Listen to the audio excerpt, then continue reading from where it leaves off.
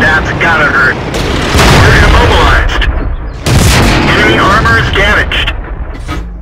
They're knocked down. Penetration. Enemy on fire!